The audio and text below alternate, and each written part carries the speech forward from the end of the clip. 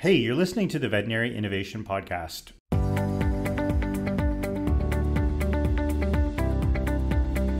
You're listening to a Veterinary Innovation Podcast. My name is Ivan Zak, and I'm here with a friend of mine, Shawn Wilkie. And uh, let's introduce our guest today. Thanks, Ivan. Super excited to be with a friend of mine, Randy Valpy probably one of the world's experts when it comes to web marketing for veterinarians and veterinary clinics. Randy's the top dog at LifeLearn and has had a very interesting career. Formerly the top dog at Pets Plus Us. Um, during his tenure with Western Financial Company, he developed key relationships with Walmart to create their first in store pet insurance offering, which rolled out in over 200 stores in Canada alone. Randy is on the board of directors of the Guelph Humane Society. And in 2018, his current company, LifeLearn, made the Growth 500 list for the fourth consecutive year. Personally, Randy has attended a Neil Diamond show in 2012 and attended the 2013 Canadian Open, met Margaret Atwood in 2015, and has a beautiful rental that I believe is on Airbnb in Wolfville, Nova Scotia. So plug for your Airbnb rental there, Randy. We're super duper happy to have you on this episode, and I think we're going to have a fairly engaged and fun conversation. So welcome to the Veterinary Innovation Podcast. Thanks very much, Shawn and Ivan. And I obviously share too much of my life on social media for you to know all that stuff. Consider us internet stalkers. That's right. Guess it could be worse. So if those are the highlights out of my social media, I'm doing okay. So we're just going to jump right into it. What would you consider a great example of veterinary web marketing? You know, that's a pretty wide question. There's lots that can go on, and, and certainly different clinics do different things throughout the world, and, and certainly North America, where a lot of our focus is, focus is on you know, I think for veterinarians to differentiate themselves these days, because it is such a competitive industry, it's important that they do more than just have a website. We've come across all kinds of different websites in our in our sales process.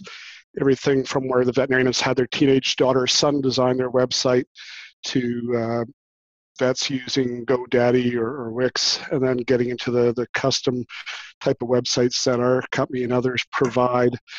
And I do think, you know, from that aspect, they have to differentiate themselves. Just to have a, a landing page isn't going to do it nowadays. So it's more about engaging both their current clients and obviously prospective clients if they're trying to grow their business. And that's by constantly adding different things to their websites. But also doing much more than just having a website. Today, they have to be engaged in social media, whether that be Instagram, Facebook, Twitter, probably lesser so to uh, LinkedIn, other properties like that. You know, unfortunately, veterinarians get very busy in their, their day-to-day lives practicing medicine, so quite often these sort of things are left aside and not focused on and that's you know where us and other companies can come in and assist them to allow them to spend the time delivering the medicine that they so want to deliver, but without having to worry about the business aspects of their marketing. That's interesting, Randy. And so maybe a practical question because we try to also incorporate some practical things for veterinarians here. What do you think on the website? What are the most common mistakes that veterinarians do? Because I've seen, obviously, we've seen quite a few websites with, you know, what I've done in my career and Sean. And then when you look at the website, what are the, those high level things when you look the website and say, okay, they should not be here, and these are the things that are lacking? What are five components that every vet should have? Certainly, some obvious things are, you know, launching your website in 1990 and not having updated it since then.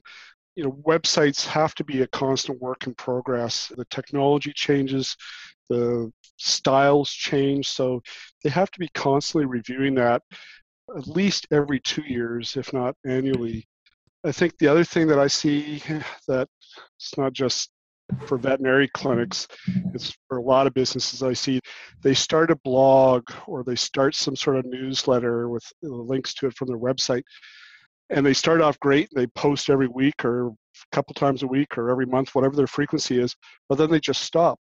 And you go onto the clinic's website or any business's website and you go to their blog and their last posting was from 2016 you know, is that really the business that I want to be doing business with where they're not being proactive and keeping up to date on these sort of things? It does send a, I think, a, a bad message to prospective clients. I mean, if you're not going to do it, then delete it. Just don't have it there. But if you are going to have it, then you've got to constantly be updating. Another thing along those same lines is, you know, staff changes, and they happen in everybody's business.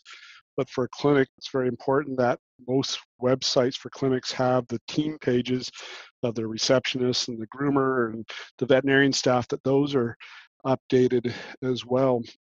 And I think the other big thing is that engagement that I mentioned in my opening comments is trying to engage with your clients because they want to know that they can come in there and learn from you as well and I think for having that engagement, whether it be through a blog or certainly highlighting your Facebook, with websites nowadays, you can incorporate your latest Facebook posts or the last couple of posts or Twitter posts so they're right there on your website and you don't have to click off to go and open Facebook or, or Twitter or whatever other social platform you're looking at. That makes complete sense. Yeah, I totally agree with you on the blog and the newsletter initiative. It really has to be a strategy rather than the individual, you know, initiative that never leads to anywhere. Just like probably podcasts. Note to self. you know, people go to a conference and they hear you should be doing this, and they go, "Yeah, that's a great idea," and they come back and they instigate it. And to your point, they instigate it, but they instigate it without a plan. LifeLearn puts out a weekly newsletter. We've got our calendar mapped out for the next several months, so we know what's going to be incorporated in each newsletter. Appreciating it sometimes something's going to happen and we're going to have to react quickly. But by and large, the bulk of the content is already laid out. And for veterinary clinics, it's you know somewhat easier to do because you can certainly create a bunch of content about seasonal things you know heartworm testing so you can lay out a lot of that content ahead of time but have a plan regardless of what you're doing. That makes sense. So with veterinary clinics you were absolutely right about the fact that they're focused on you know veterinary medicine and how to treat the patients and to a degree it's hard to engage them in the marketing activities that that's what i've found. So what is your strategy when you work with the veterinary clinic? Is it sort of partner up on the initiative? Do you take completely hands off and help them or do you engage with a certain role in the clinic and help coaching them through what needs to be done to be consistent to continuously post on social media? How does that work in terms of the uh, engagement with the staff? I think it varies by clinic and certain clinics you know have staff whether it's the owner or one of the veterinarians or practice manager that may be more business savvy than others you know so much of our relationships start either at a trade show or an outbound telephone call from our sales office here. I think you know for us the first thing that we want to do with any client is a, a needs analysis to fully understand what capabilities they have and how much time they have to devote to these these sort of things. I mean, we can make a website as big and beautiful as any clinic wants with the content, but understanding that to add that content to really make their clinic shine is going to take a certain amount of their time for us to interview them and to get all the information that we need. Others, you know, don't have that time and may want something more simplistic but really understanding that needs analysis. The other thing is for us, you know, LifeLearn for years has done custom websites, but we also understand that that's uh, a painful process for many clinics to change their website.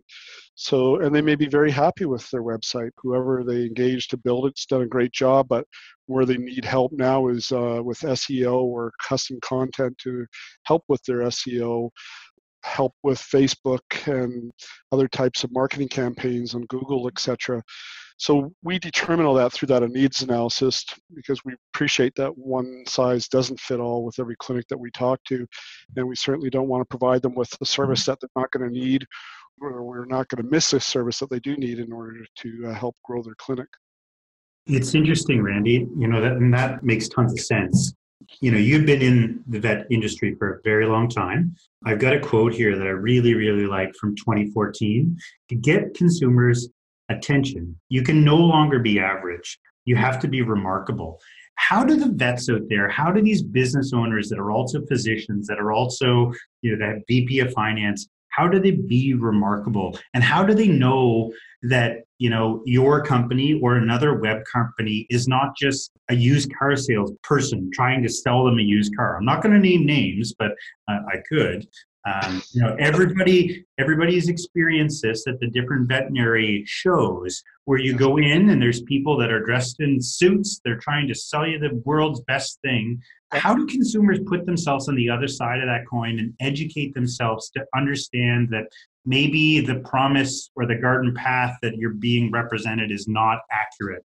How can you help, or what kind of information can you provide our listeners so that they can understand that there's some depth behind what is being pitched to them at some of these conferences? I think several things. I think first off, first impressions mean a lot in any business. And we go through a tremendous process in hiring the right people here because they've got to fit with our culture and understand our business and equally important understand our clients business so I think that's first and foremost. I think the impressions that we make over the phone or the trade shows is important and people can read people very quickly i think and, and, get a sense for that additionally for us we have spent a lot of time and are continuing to spend time building out video testimonials on our website so clients can go on our website and see what some of our customers are saying about ourselves and our products and their names and clinics are on there for all to, to check.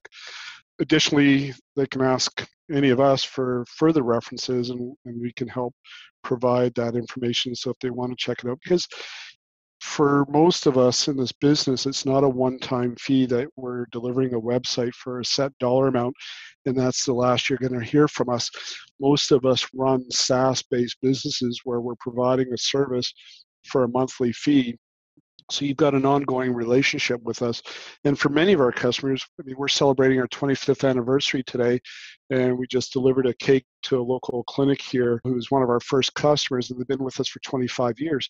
So, you know, it's so important to have the kind of relationship that clients will stay with us for 25 years and, and still see the value in the, what we're providing them is a great testimonial to LifeLearn and just goes to everything that we're trying to do as a company. And we're trying to help the clinic's business. Again, it's not just a matter of delivering a website or our client education or things. You know, with the heartworm season, we put out a package that clinics could then print off and do posters in their clinics. So we're helping with content for their clinic that they don't have to spend the time or have the creativity to create. So there's a number of those different things that we do to try and differentiate ourselves because at the end of the day, it's like when I was in pet insurance, it's no different for websites or anything else. You know, websites, website is website to a certain extent. Pet insurance is pet insurance is insurance, but it's the differentiations that you have, the nuances within your product but most importantly, it's the, the staff that you have representing your, your customer that is so critical. And you know, for us here, we have 74 employees, and we have an organizational chart on our wall here, and and I'm on the bottom uh, as CEO because it's really everybody else above me that's making this company successful. My only job is to keep us on track if we veer off, which we occasionally do, as any company does. So that's why we spend so much effort making sure we have the right people representing us on the top of the chart. That's excellent. And what a testimony. I, I want to congratulate you for a 25 year anniversary with a customer and also congratulate you for finding someone 25 years ago that you could convince that they need a website. Uh, with, with the veterinarians, I mean, that's that's incredible.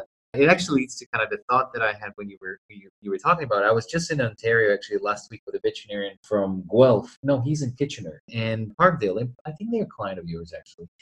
And what's interesting is that you know I, I was just thinking about it that it's so hard to to explain to veterinarians what marketing is. I was just talking to him and i said what do you what do you do from marketing perspective in your clinic?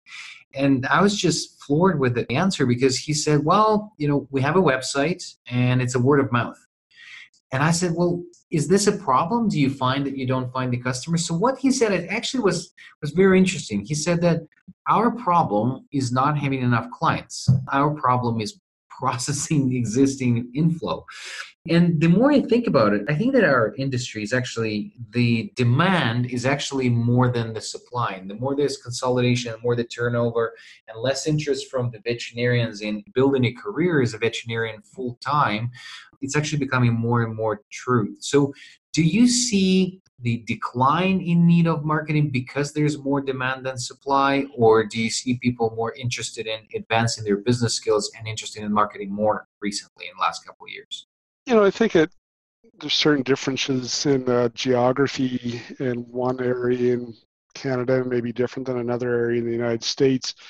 I certainly believe, especially in larger markets, it's very competitive. I'm thinking of one clinic in Burlington, Ontario that's we got 12 competitors within a very short radius of where they're located and how they differentiate themselves because you know new vet moves in and they're going to start to cannibalize somebody or, or many of the other clinics in the area's business. And so for them i think it's very important that they're still marketing if nothing else to maintain their position. Because if they don't someday and this is you know the business has large swings sometimes you know 2008 or even more reason than that visits were down and now for many clinics the business is going back up. So you may not need to do the marketing today but at the very least you want to maintain your position because it's a lot harder and a lot more expensive to bring that back up. So if you've got the number one or second spot organically on google results for you know clinics in burlington you want to make sure you maintain that. You know to go lose that and be on page two now to rebuild that is going to take some effort yeah, that makes complete sense. So, so from the Ontario perspective, if you want to build clinic, it sounds like you should do it in Kitchener, not Burlington. but from um, from the vendor and provider of the services to these clinics, for example, in Burlington, I assume you have several clients in the area. How do you, as the same agency that provides with the marketing services, content, how do you internally compartmentalize them as a client and do you ever get questioned that you know when you approach a client that well you're doing marketing for my competitors so how would you not run into a conflict there? That's a really good question.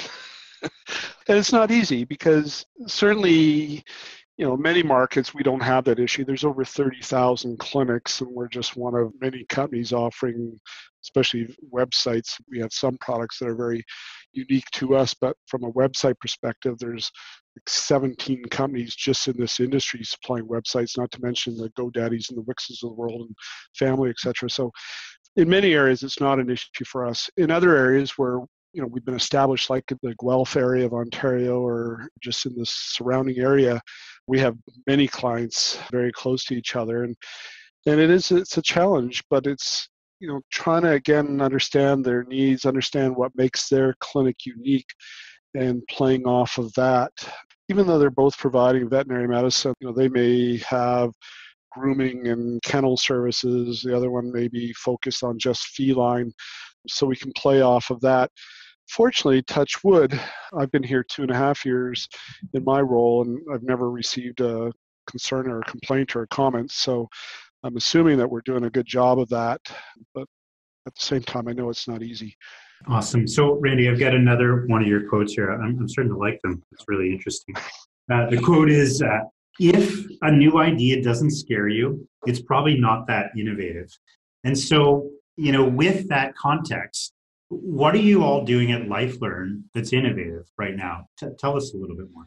Well, it's it's tough, right? In this industry, as you guys know, there's a new startup weekly there's all sorts of conferences and meetings that bring these startups together and encourage other startups. So it is tough, especially for an older company like ourselves. So, you know, I guess one of the things that we did, and it's not that new, but it's certainly newer than a lot of the stuff we've done. I mean, we spent many years developing Sofie, which is our veterinary medical search tool built using IBM Watson's technology. So we launched that a year ago, and that was I think, very innovative. It's got a, a huge runway ahead of it. It was a very expensive proposition for us, but we think we're going to see tremendous success for that. Another thing that we've done recently is we just purchased 50% of Vetfolio. And CE in itself is nothing new, but it's how you deliver CE today that is unique. People no longer have an hour to sit down at their computer and, and go through a, a, course. They want, you know, micro learning, you know, little snippets of education delivered in five to ten minutes. So we're spending a lot of effort on Vetfolio right now, recognizing that and redoing how we deliver CE. You know, hmm. those are a couple of the things right off the top we've got obviously plans in, in the pipe that can't get into about other things. The other part, as I said earlier, it's having the realization that we can't sell a website to everybody else. So how else can we serve the veterinary clinic? And that's when we launched an, an SEO offering, a content offering, a advertising offering this year.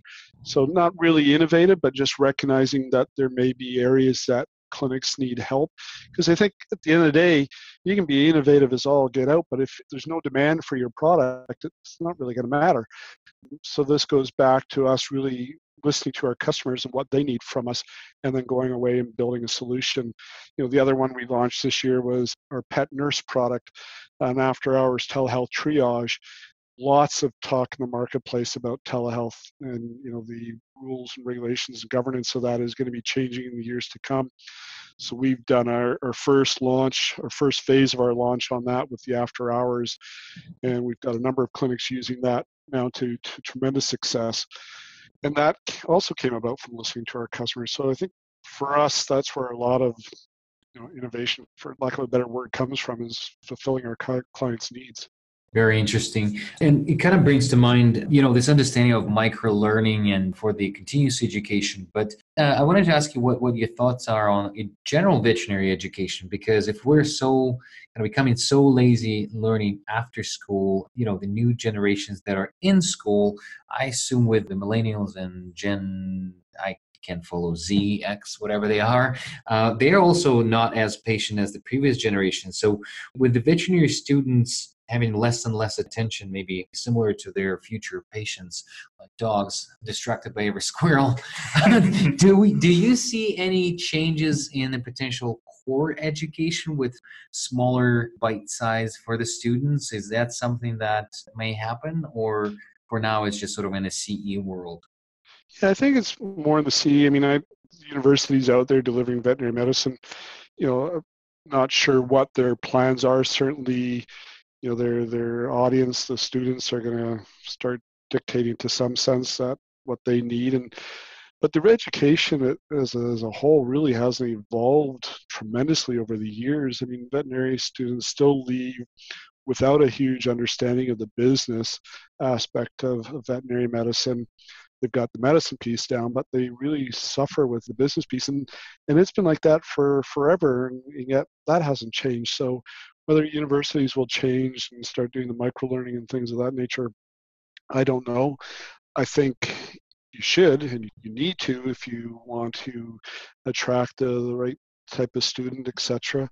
But certainly, once they leave the school, that's where we can assist because everybody's using their phones these days, and Vetfolio is now mobile friendly. Sofie was built around being used on a telephone, and if you aren't going to develop your products for the users of today, then you're going to get left in the dust. Randy, it's really interesting to hear you say that. One of our previous podcast guests, we asked him that exact question. You know, are we doing enough in veterinary education to give tomorrow's veterinarians and business owners the tools? And it was really interesting because he kind of called us out, uh, me and Ivan. He said, You guys are the opportunity to impart that wisdom in the students. And I, and I would go on to say, I think people like you as well, Randy, like coming to the vet schools and having a conversation about business and the different avenues that one can take after becoming a veterinary doctor. I mean, Ivan, you're a, you're a clear example. You went to school twice to be a veterinarian in two countries, only to do it for a little while, I think 10 years, and then to start a company. And, and I don't think you're going to be going back and practicing veterinary medicine anytime soon. Correct me if I'm well, wrong. not in that capacity, but the difficulty of explaining the veterinarians of the, the value of marketing or the value of any business aspect. It seems like what Dr. Cote mentioned is that student veterinary students don't go to vet school to learn about business, so they learn about veterinary medicine. But this is an essential part of it, and when they get out of it, I think that we're you know, I think that we're kind of missing out in the educational piece, the value of business. And there's, I think there's two vet schools that teach MBA within the program. I think it's Colorado and Texas.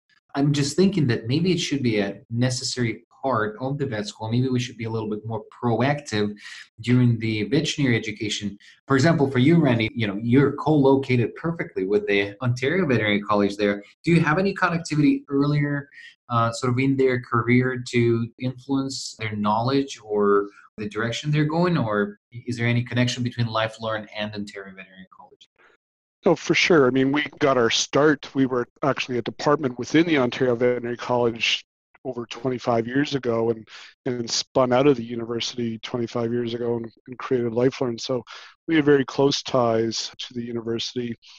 You know, you guys are probably familiar with the Veterinary Entrepreneur Academy uh, that was launched a couple years ago or a few years ago. And you know, we are a sponsor of that this year. We've got a first year student, finished her first year, going into second uh, as an intern this year for 10 weeks because she wants to understand the business components of of the animal health industry and, and so i give ovc credit i think they sponsored three or four of their students in this this year and still there's only a, don't quote me on this but probably less than six or seven universities that are participating in this program with texas a&m certainly being at the forefront you know, more schools have to do that to open the students' eyes to what other opportunities are out there and even if they stay in the veterinary medicine, to understand the business components of that, to understand the value of marketing your business, because it can make such a huge difference.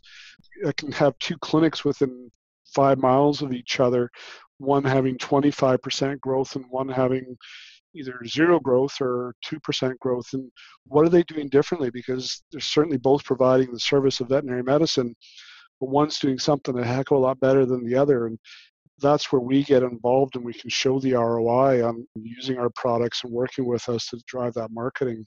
It's really interesting. You know, one of the reasons that I lament my university days is because I found that it was a perfect place to expand how I thought. And I got exposure to all kinds of different courses. But because of the prevalence of entrepreneurship and business ownership in veterinary medicine, to me, it seems like a necessary component that may be lacking quite a bit when it comes to the different vet schools across North America. So it's interesting. It's also double interesting because it's come up twice in a very few number of conversations. So kind of cool. I think there's two things what I see students not getting what they need in the schools right now. And maybe there's a couple that are doing this, but certainly by and large, one is certainly the business aspects that we've been talking about. And the other part is on the on their own mental wellness, because that has changed tremendously in the veterinary field as the population have changed from what was once a very male dominated industry to what is becoming a very female dominated industry and the stresses of everyday life and the impact that is having on the mental wellness of veterinarians and their staff these days. And I don't think anyone comes out of school prepped for that.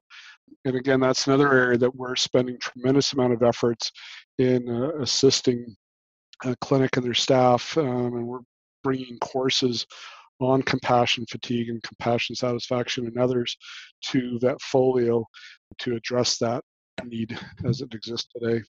It's very interesting that you touch on that because that came on the surface several times. And I just recently came from the Human Healthcare Conference where they were talking about the burnout and the compassion fatigue. And, and uh, some of the things that they do there is they actually proactively teach courses on self compassion, which is something that human doctors to their research are lacking is basically understanding your own needs as an individual because veterinarians are such a high impact sort of you know they have to be leaders a players and represent the community. So we are lacking the the self compassion so it's a very prominent topic and i'm glad that you um, you're also thinking in that direction because one of the things that industry is thinking about constantly especially with consolidation i think is the effectiveness the efficiency the productivity but they don't understand the impact. And i think it will spiral if we don't think about improving the mental health of the veterinary professionals. What was interesting in that healthcare conference that I learned is that actually working uh, on improvement of that aspect and the the the work-life balance, improve productivity, efficiency, and everything on the other end. So it's really great that you're thinking in that direction. It's so important. you know, and those are some of the things that we do. It's just not about selling the the next website or the selling the next package of client ed. It's really investing in our industry and our community on all all parts, and I think that makes us a, a good business partner for the clinics that we do work with. You're an innovator. You're a business leader. You've been in this industry since it really was an industry.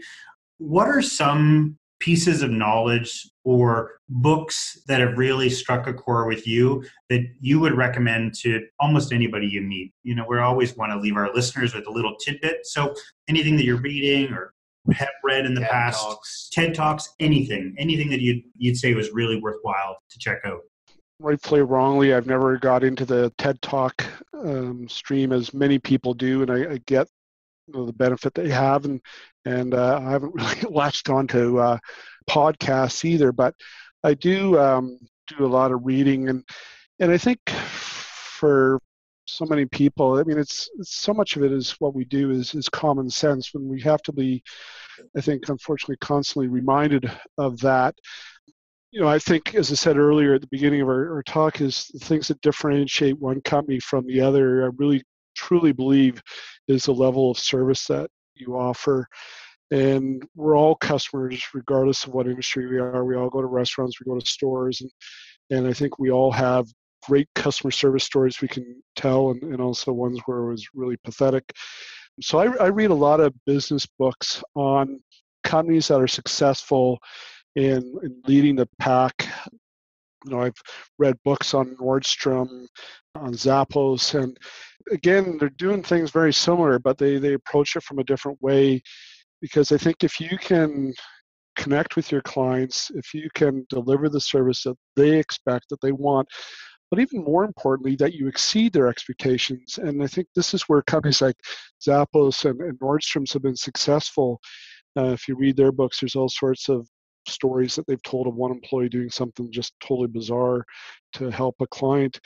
In my previous job, I spent a lot of time with our customer service people is, is listening to what our clients are saying.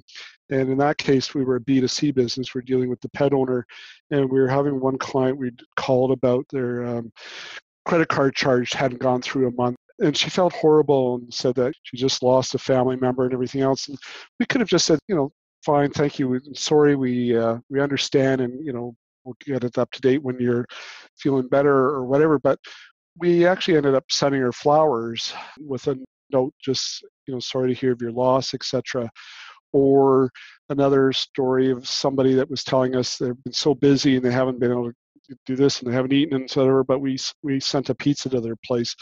And those are the types of things that really differentiate a company from one to the other and that's the type of books and the stories you know southwest airlines when they got going and how they differentiated and really redid the entire airline industry and are continue to be you know one of the more profitable airlines out there.